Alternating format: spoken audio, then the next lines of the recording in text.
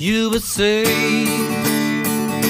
we've got nothing in common, no common ground to start from, and we are falling apart.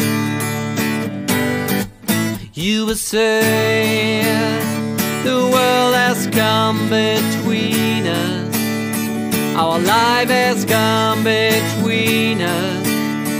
Still, I